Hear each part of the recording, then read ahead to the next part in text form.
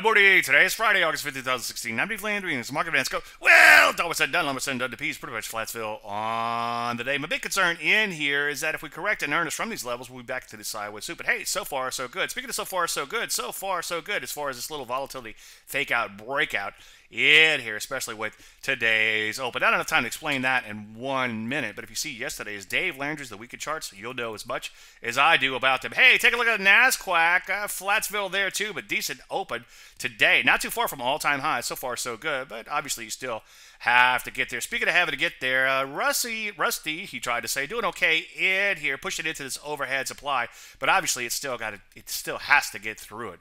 One cup coffee tomorrow, Dave. Hey, as far as what action should be taken, I still like the the metals and mining, specifically gold and silver within the metals and mining. I also like more speculative issues such as IPOs. The reason I like these issues is because they can trade conscious to the market, so it's a good place to be while the market finds its way. Any questions? As usual, Dave, DaveLand.com. I'm Dave Landry, and you, sir, Market Bennett.